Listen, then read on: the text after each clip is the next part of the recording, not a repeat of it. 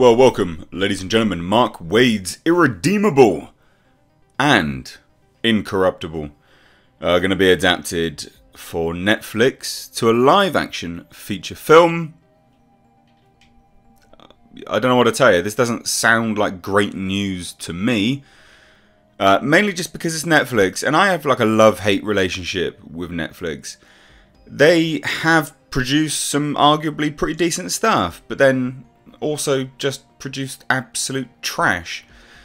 Uh, it's difficult because the thing is, if you look at the broad spectrum of content that they do produce, largely it's it's actually pretty decent, right? Largely it is it is all right. Like if you're looking at the broad spectrum of stuff, but when they produce a bomb, boy howdy, it's a bomb. You know, if I'm looking at a movie studio compared to Netflix, right?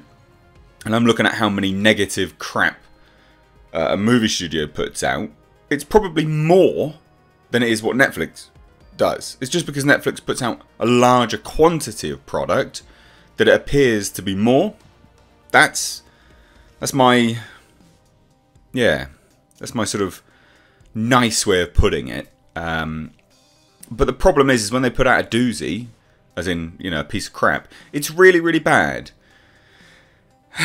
And yeah, Mark Waid's Irredeemable and Corruptible could be fantastic. But this stuff, you know, we're looking at this news here. So it's going to be directed by uh, Jeymes Samuel, who did The Harder They Fall.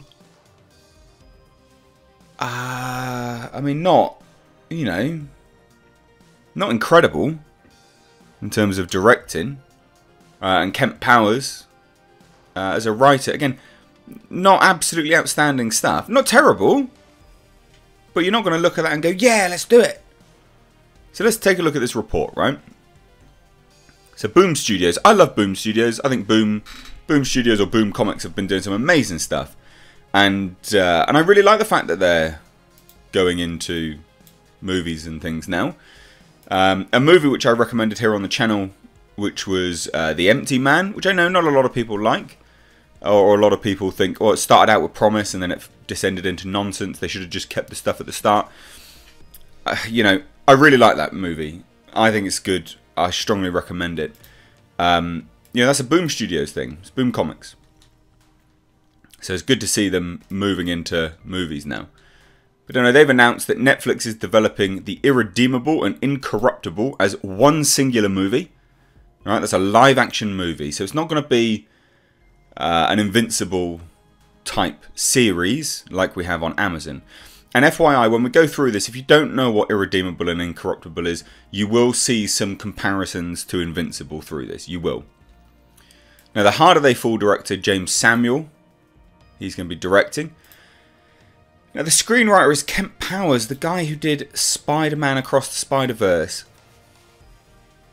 Uh, sure, not someone you'd you'd want for what should be, you know, quite a quite a mature, I guess, um, comic adaptation. But never mind. Again, you can start to see the sort of red flags coming through. Now, the movie will feature the protagonists from each series, one a villain on a quest to become a superhero, and the other a fallen hero turned villain as they face off. Now, just again, comparisons to Invincible, you will see them. When the world's most powerful and beloved superhero, the godlike Plutonian, inexplicably begins slaughtering everyone on Earth, the only person that can stop him is his former arch nemesis, the superpowered villain Max Damage. Epic names, love it. Unwillingly thrust into the role of saviour, Max must uncover the Plutonian's mysterious past again, invincible like, to discover how to bring him down.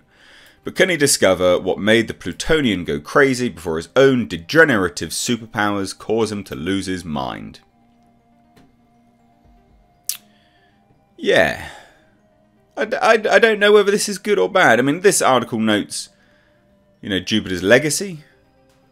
Um, saying that obviously made a lot of people doubt Netflix's ability to do superhero stuff. But that was a series. Um, this is a movie.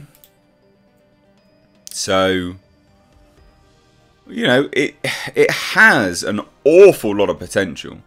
As a movie, though, are they biting off a bit, you know, a, a bit more than they can chew? There is the potential that they're doing that.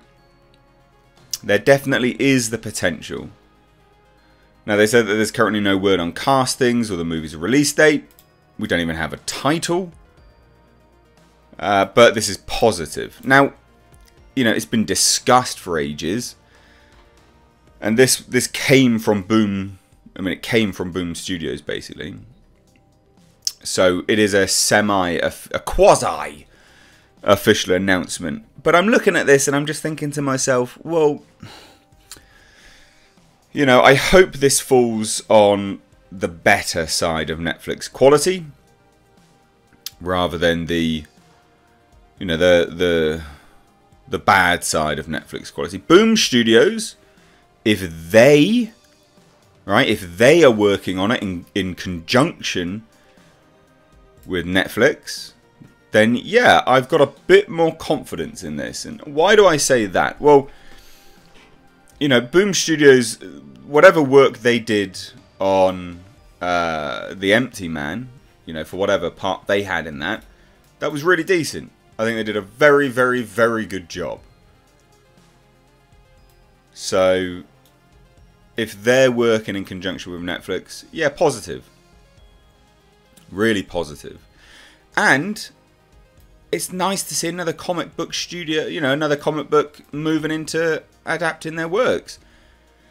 You know, Marvel and DC, sure, whatever, fine. You want to keep sucking their D? No worries. But I'd love to see more. And hopefully this would allow Dark Horse to do stuff. Maybe Top Cow could do more stuff.